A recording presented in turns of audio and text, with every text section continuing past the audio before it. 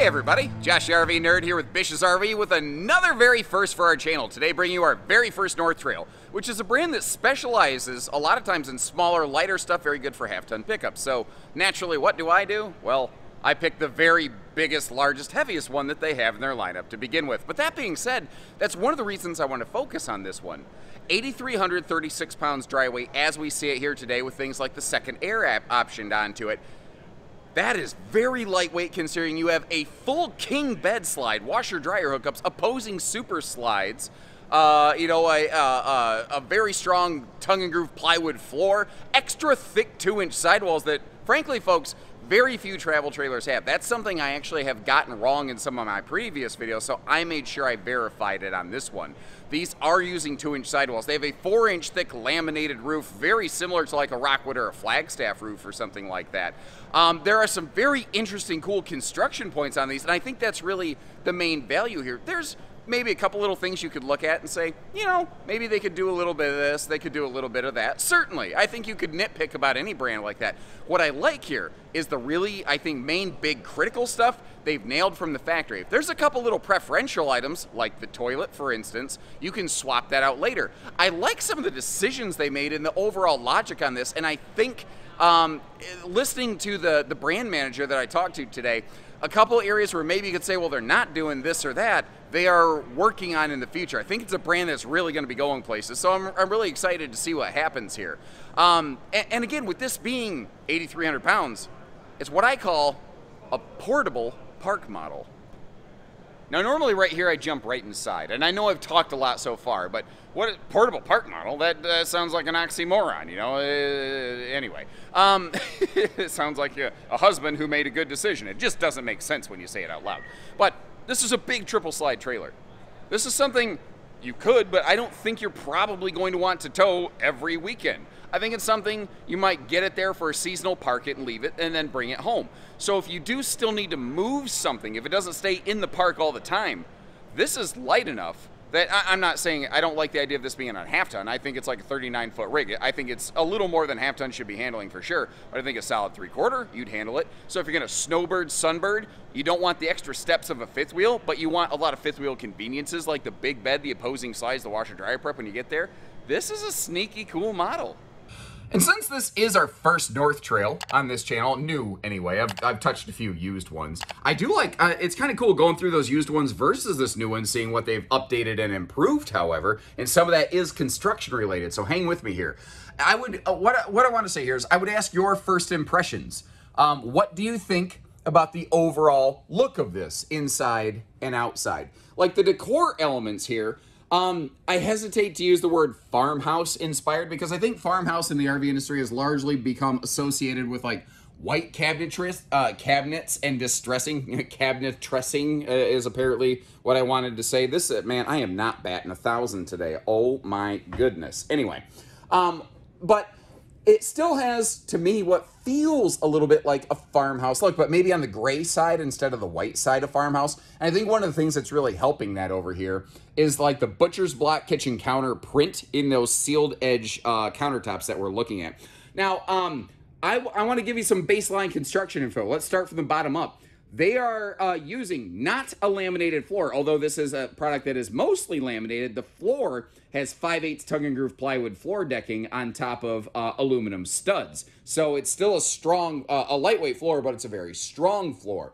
Now your walls, one of the very interesting qualities on these is they are a true two inch sidewall. Um, that is very rare in travel trailers. It's more rare than I used to think it was. I, uh, I have learned that some brands that have called themselves a two-inch wall are not. And where I learned to look for it is the door jamb.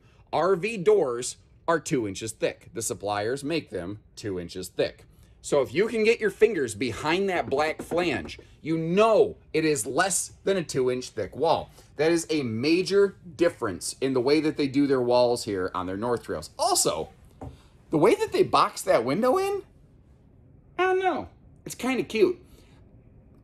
I'll get those cabinets open in a minute, but that little shelf, I could see myself coming in, just having a spot, set down my phone, you know, just just some nice little things like that. And I spotted a set of power outlets around that corner we'll get to peek at. Nice little phone charging station.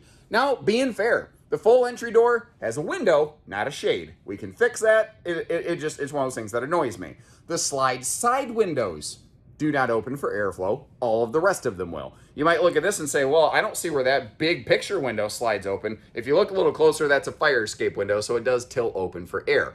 Now, if we look down below, uh, the, the table, by the way, does have an extension leaf, and this is carpetless. They've gone to that like marine woven flooring kind of stuff here. I, uh, I'm not gonna, I- I'm not gonna name names. I'm not, I'm not into that kind of life. But I heard somebody at another, uh, like we are in a show display today. There's other dealerships here, and just walking through different displays, I heard an individual representing another company say, "Yeah, that's you can you can try to slice that with a knife and you won't cut it." Uh, I'm not going to make that bet, nor am I going to make a statement like that. That is absolute nonsense and stupidity. Uh, I, I've definitely got knives that would cut that stuff. Now, let me get you, uh, I like to call it, you know, your point of view here. Let me get you over in the theater seat. Most North Trails, there's a couple of the small ones where it just can't fit, have this big 50 inch TV. And it's straight across from you. The bottom of the TV is at like my gut. Top of the TV is just over my head. You can see, well, you can see my reflection uh, in, in it there. But notice how it's not mounted way up high at a neck wrecker position. The TV also comes with a little hidden surprise. This is what my grandfather would have called his Baptist medicine cabinet. Um, my grandmother always knew what he was doing over there. It was just their fun little game. He just had a little something to keep the goal away over there. now, it can uh, lock down in place, but this is another one of the improvements they've made. North Trail's done this for a little while. It reminds me of something Open Range used to do a long time ago. But um, it's on gas struts now, like a big baggage door. So, uh, you know, you don't have to lift and hold the thing the whole time. You know, that's a nice chunk of storage that's otherwise lost. Now, speaking of other interesting surprises, look what's going on with the. So- this is an extremely versatile sofa. Um, so, uh, we've got a theater seat in this floor plan. This is the hide a bed, but what if the guest wants to kick up their feet? It's even got its own little, basically slide open ottoman, but that's not all it's good for. It comes with a little hidden storage surprise right here, but you might notice how it's basically stuffed full of what looks like a cushion. What, why is that there? Well, the back section of this is actually just a hide-a-bed sofa, but this little trundle style footrest that kicks out, you grab the little cushion out of that thing, and voila, you have yourself a big tri-section sleeper sofa. Now, even when that's open, you can still uh, kick your feet out on the theater seats. You may not be able to fully recline, uh, but you could at least kick your feet out. So uh, if you've got somebody like me sleeping with you, and I sleep in if I get the opportunity, uh, like I'm one of those people. I, I hit my snooze alarm at least three times before I wake up. Anybody else live off the snooze button? Because I would die without it, frankly. Um, if you tried to wake me up without the snooze button, I literally, I think my body would cease to function. Anyway, look at the giant side stands. Now, this is what I'm going to call like a two adult seater. If you're going to have two adults sleeping on this for the weekend, they better be familiar with one another because in some third world countries, you sleep that close together overnight and you're legally married, I think. Uh, anyway, but it allowed them the opportunity for huge side stands. And I love the placement of those outlets back there. Now, I don't see a lot of USB plugs in a North Trail, but I don't really see where this is built with the intention of a lot of off grid camping currently. They might shift to that more in the future, but currently I don't see that. So anywhere I got a household plug, logically I'm probably parked, uh, plugged into Park Power, so I could just use like my little phone's uh, household to USB plug adapter. And as you can see, that TV can pivot around. So it doesn't matter if you're at the theater seat, the dinette, or the sofa. Any of the seating positions can have some very good visibility on that thing right there. Uh, swinging ourselves around over here, taking a look at the kitchen. Um, I, I like. I know that some people dislike when you start mixing and matching different tones. This color palette's okay for me. I like that they stayed consistent within the slide. I'm not a fan of when the color shifts halfway through the slide. Personally, it's not my favorite thing. It's not a deal breaker for me, but not my favorite thing. Now, not only are we carpetless, notice we have a carpetless kitchen slide along with the living slide, and we have ventless flooring. One, two, three, easy breezy, beautiful cover girl kind of camping right there. That is easy cleaning. Um, again, these are all sealed edge press membrane countertops, and oh, I mean, they've got a lot of counter space in this because they have that extra large coffee bar over there. But I don't want to forget it. I want to actually start opening up some storage over here. And again, pointing out, uh, pointing out on the right-hand side right there, you've got some outlets. That makes a perfect little charge station. Ooh, you know what else you could use that for? That, like, if you want to get like a little, uh, like a, a router, a little Wi-Fi hotspot, something like that, that'd be a perfect little place for that. In the middle of the RV would give you a good signal all around your campsite. That's a perfect spot for something like that, isn't it? Sorry about that. I saw something shiny. What would you put in that little cabinet, by the? Flip-flops, maybe? I don't know. I don't know. Uh, this forward bar, wall, whatever you want to call it here, that'd be a perfect coffee maker station because it's deep enough to actually set a coffee maker there and you've got some easy reach outlets. Drawers down below, little pocket of storage. I'd say that'd be good for a small wastebasket if it weren't for the fact that built into the island, we have a place for a giant wastebasket and we don't got to worry about that. You see the uh, stainless farm sink inset into the uh, sealed edge countertop here. And also on the rest of the island, which notice that the island is asymmetrical, by the way. They shove the sink over to the left, which makes sense to me. Because that means that I have prep space over here and I have prep space over there by the coffee bar, essentially on either side of the sink. For me, at least it makes sense. It's not a symmetrical kitchen, but it has a symmetrical function, if you will. I, I, I, I know that, like, technically speaking, it doesn't have, I think you get what I'm saying though, right? I'm gonna move on. Nice big pantry built right into the middle of the slide there. And you see we've got the, uh, this is the standard fridge, the 12 volt DC compressor fridge, giving us a bigger capacity and like four times faster cooling. Um, a, uh, a 8 cubic foot gas electric two-way fridge is available on these as an option, by the way. And just to kind of show you how uh, big the chunky counter is next to the stove on the right-hand side here, I threw the sink cover over there. You know, I figured to give you a frame of reference. It is, however, uh, a little kitchen station that is definitely made for right-handed people, so you can stir the pot the way that I like to do, uh, you know, all the time, stirring the pot. but then put the spoon on the right-hand side. If you're a lefty, it's not as comfortable, and as I always say, no side splash beside the stove. But frankly, since no manufacturer does that, I guess they're all on an even keel in that regard, as it were. You know what I mean? Now, I have a couple concerns about the road mode fridge accessibility on this one, but uh, before we step back outside, hang with me. I will get the slides closed up so you can check that out. I want to get you up here into this bedroom. I want to show you what's awesome about it, what some people might dislike, or what, what I feel maybe could be done a little bit better. First of all, every single North Trail has the 72 by 80 king bed, meaning you can actually find replacement mattresses that fit. You can buy normal sheets that fit without having to go to some special RV mattress barn outlet warehouse extravaganza to get these goofy, stupid measurement bed sizes. Um, that was a long description, sorry. Uh, you can get a uh, optional second air conditioner on this one. You see though, it is a direct dump AC. Now some people like that. Some people are like, yeah, I like my bedroom to be like an ice box. I will tell you though, the offset, it's gonna it's gonna be noisy here in the bedroom. That doesn't bother me. I like to sleep with a fan on. So a camper like this, I'm totally cool with that. Um, I, I, would just leave the fan on all the time so that when it kicks on with the compressor, it doesn't totally disrupt me. And good gravy. That is a redonkulously sized closet up front. I mean, that is huge. And did you notice how over here we have those uh, washer dryer hookups? That is a very rare thing. Now, this looks like a camper that's a little more set for a combo washer dryer. Um, I would maybe have to get in touch with our, our parts team to see like, you know, is there a side-by-side -side washer and dryer setup we could put in there? But I think even if we could, the offset to that uh, is that you'd just be munching your closet space. Uh, by the way, if you want to put a TV in here, you see that extra thick center beam? That's there so you can actually mount a TV onto it. That being said, you're not going to get something too awful wide due to the presence of those cabinet doors. But if you didn't mind losing those, you could put a bigger TV on that maybe just hangs down a little bit. It's all going to depend on the TV mount that you have uh, available. Now, uh, again, being fair, in the kitchen we had sealed edge countertops. some areas of the RV, they do drop down to a T molding. Um, that doesn't necessarily bother me in here too much because we're not near a water source. I don't like them as much, but it's not necessarily really hurting anything.